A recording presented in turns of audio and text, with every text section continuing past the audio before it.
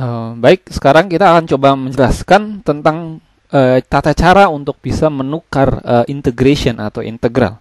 Uh, sebelumnya kita sudah mengulas sedikit soal yang ternyata sulit untuk dikerjakan dan ternyata itu akan lebih mudah kalau dikerjakan menggunakan polar coordinates yang sebelumnya yang ini ya. Akhirnya kita mentok uh, di mana tadi ya? Oke, di di sini cos theta dan dan seterusnya. Oke. Nah, sekarang uh, kita akan melihat bahwa ternyata kalau kita menyelesaikan suatu integrasi, kita bisa menukar yang biasanya kita tulis dx dy menjadi dy dx. Ya, sama seperti kita kalau mau menukar panjang kali lebar sama dengan luas, itu juga sama dengan apa? Ya luas sama dengan panjang dikali lebar. Itu juga luas sama dengan lebar dikali panjang. Sehingga dx dy ya sama aja dengan dy dx tapi integrasinya harus dirubah. Contoh yang sebelumnya ini eh, dx dy maka dx nya dulu 02 baru dy 01 kalau mau ditukar dy dx maka 01 dulu dy dulu baru dx nya 02 Oke, jadi kita bisa menukar uh, urutan tersebut. Oke, kemudian uh, contohnya misalnya kita punya sebuah soal ya. Uh, ini sepertinya keliru sebentar. Uh, misalnya kita punya sebuah soal seperti ini. Uh, kecoret. Uh, jika uh, kita ingin mencari sebuah volume ya uh, dengan E pangkat Y per Y diintegrasikan dari X ke akar X dy kemudian diintegrasi dari 0 ke 1 dx yang maka ini sebenarnya adalah menjadi uh, innernya ya. Oke. Okay.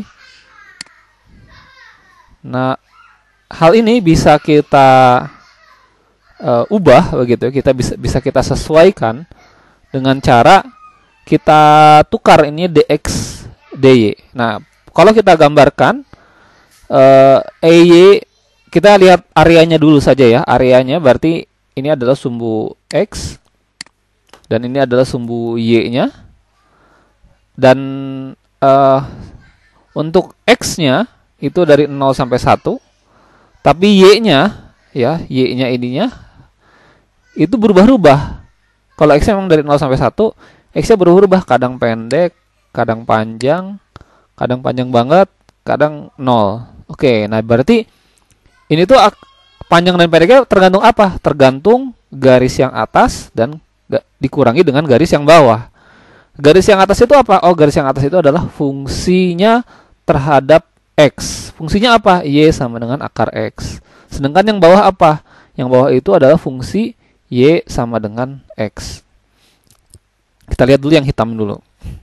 Oke, nah kemudian oh berarti dari uh, dari x sampai ke akar x dari bawah sampai ke atas ya dari y sama dengan x ke y sama dengan akar x. Maka yang uh, yang pertama ini dy dulu kan?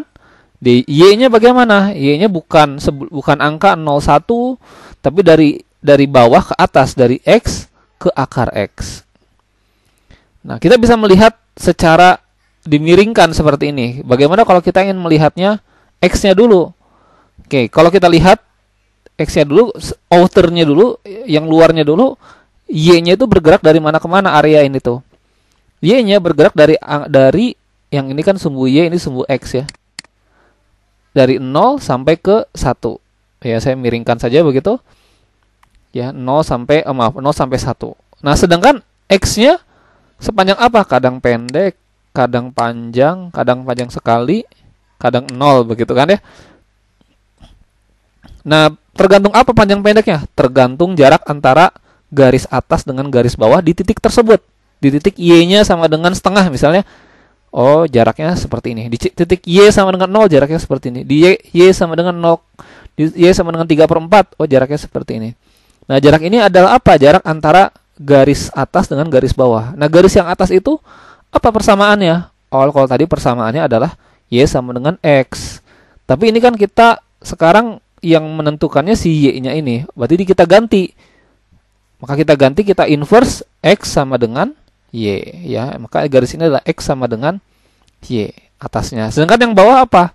Yang bawah ini kan persamaannya adalah uh, Y sama dengan akar X. Y sama dengan akar X. Tapi kita ingin tahu X sama dengan apa? Karena kita pertama diintegrasikan terhadap X dulu. Oh ya sudah berarti tinggal dibalikan, diinverskan. Kalau Y sama dengan akar X, maka X sama dengan Y kuadrat. Ya dikuadratkan aja kedua sisinya. Ya dikuadratkan kedua sisinya. Sehingga menjadi X itu sama dengan Y kuadrat. Oke jadi atas kurang bawah begitu kan ya. Berarti yang atasnya berapa? Y, bawahnya berapa? Y kuadrat. Persamaannya sama. Oke, jadi hasilnya akan area yang terbentuk akan sama asal uh, ya tukeran-tukerannya uh, pas begitu ya. Kalau ini Y jadi ditukar jadi D, D, D sama DX ditukar, ya maka range-nya juga uh, berubah. Kita akan coba lihat bagaimana ilustrasinya. Hmm, kurang lebih uh, seperti ini jadinya ya. Ini adalah area yang tadi yang kita tadi bahas ya di sini uh, areanya ini adalah y sama dengan x. Yang ini adalah y sama dengan akar x. Seperti itu ya. Dan ini adalah grafik uh, grafik e pangkat y per y ke atasnya ya. E pangkat y y ini ke atas.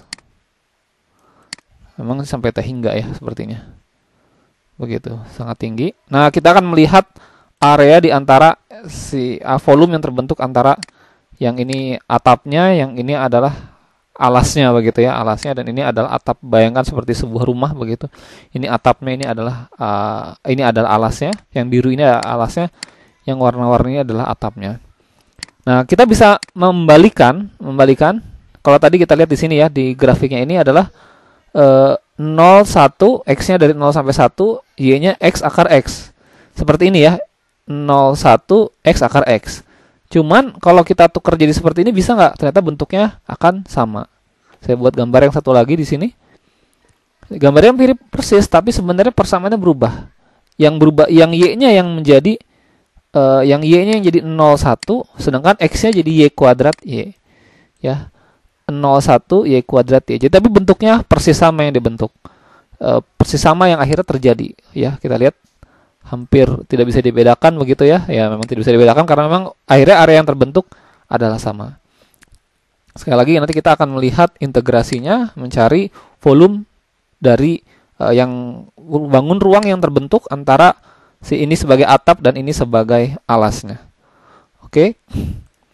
Kita lanjutkan. Nah, selanjutnya adalah mengintegrasikan uh, seperti biasa. Nah, kalau bagian ini uh, boleh kalau Anda mungkin mengulanginya, tapi kalau yang paling penting adalah Anda memahami konsep yang tadi ini pertukarannya. Selanjutnya ini teknik mengintegrasikan seperti biasa, Anda bisa latih. Tapi yang paling penting tadi ya, bagian sebelumnya itu.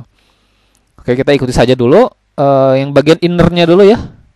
Kita menyelesaikan uh, yang ininya dulu. Seperti yang tengah sini y kuadrat y e y y oke ya seperti itu ya uh, oke sebentar. Ini sepertinya langsung ya. Y kuadrat y ini jadi kalau diintegralkan bagaimana? Ya diintegralkan jadinya karena ini enggak ada x ya tinggal sisipkan saja x nya e pangkat y per y dikalikan dengan x. Dari mana sampai mana? Dari y kuadrat sampai Y. Ini sebagai innernya. Lalu kita coba selesaikan XY kuadrat X sama dengan Y. Oke, seperti ini ya. Nah, lalu kita inputkan Y-nya masuk ke dalam sini. Jadinya Y, E, y, e pangkat Y per Y dikali dengan Y. Hasilnya berapa? Ya dicoret ya. Akhirnya sisa E pangkat Y. Selanjutnya kita masukkan Y kuadrat ke sini. Jadinya Y kuadrat sama Y dicoret tinggal sisa Y-nya saja y pangkat 1 jadinya y dikali e pangkat y. Jadi ini kurang ini begitu kan ya. Jadi tandanya min. Oke, nah sekarang yang bagian luarnya. Nah, bagian luarnya tadi kalau kita ingat yang bagian sini 01 dy ya. 01 dy maka ini 01 dy. Oke. Yang ininya pindah ke sini. E pangkat y min y kali e pangkat y. Seperti itu. Selanjutnya uh, Nah, ini mengintegrasikan uh, sebagaimana pas kalkulus satu. Kalau Anda agak lupa-lupa, ya tinggal diingat lagi. Cuman ini bukan bahasan utama topik kita kali ini. Yang penting Anda paham tadi cara menukar-nukarnya. Oke, integrasi dari E pangkat Y ya sama dengan E pangkat Y. Sedangkan integrasi dari uh, antiderivatif dari ini itu adalah uh, ya. Oke, ini sama dengan apa? Sama dengan Y E pangkat Y dikurang uh, E pangkat Y. Ya, nanti Anda coba cari lagi ya tentang bagaimana mengintegrasikan YE pangkat Y. Atau kalau misalnya di internet mungkin akan lebih mudah dicarinya dengan mencari E X E pangkat X integralnya berapa. Nah, coba cari. Nah, cuman hasilnya jadi seperti ini sehingga ini min kali min plus jadi min, min kali min jadinya plus negatif kali negatif jadinya plus E pangkat Y min uh, Y E pangkat Y sehingga jadinya seperti ini. E pangkat Y tambah E pangkat Y jadinya 2 E pangkat Y, ininya jadi seperti ini. Oke. Kemudian masukkan angkanya 1 0 ya.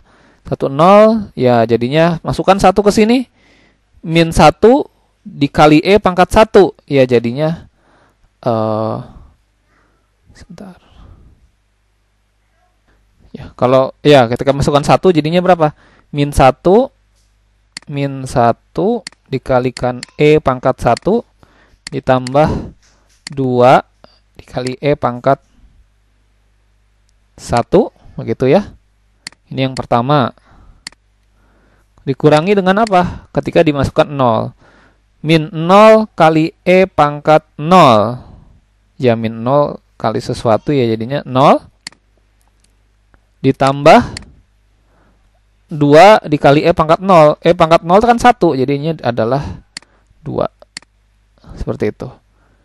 Min E tambah 2E jadinya E. Min kali plus 2 jadinya min 2. Maka ini jawabannya E min 2. Seperti itu.